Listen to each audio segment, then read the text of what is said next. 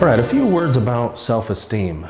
Right, as I've been hearing about self-esteem since I was a little kid, and I, I think that here's what self-esteem is, in my opinion. Self-esteem is the reputation that you have with yourself. Right? Self-esteem, that's why it's called self-esteem, right? It comes from within you. Right?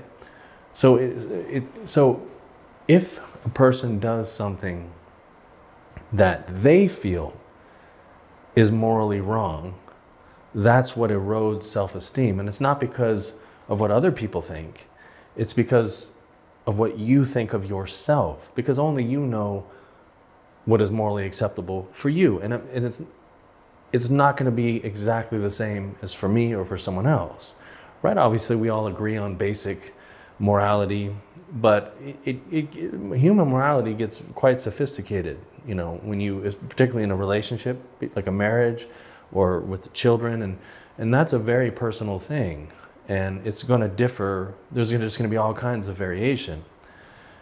So self-esteem isn't something that comes from the outside world. It's what comes from within yourself.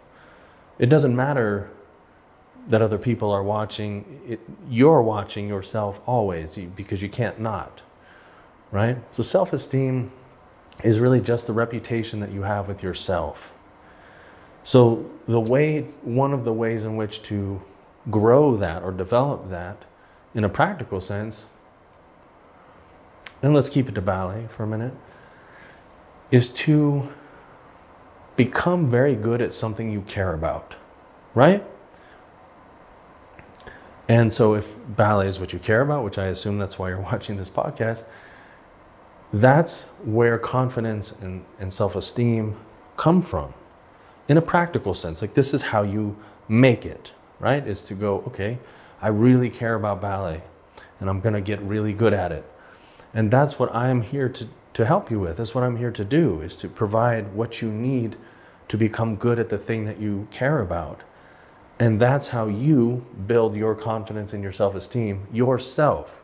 It's not that I am over here giving it to you, it's that I give you the path with which to get it for yourself.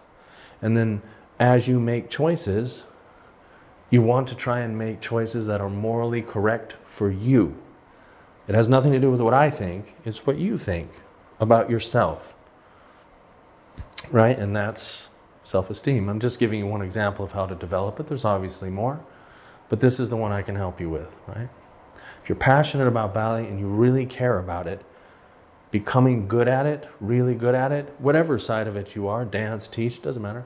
That's how you begin to build that confidence. And it's, we need it. You, you really need it in this life, okay? So, mm, this is my thoughts on self esteem.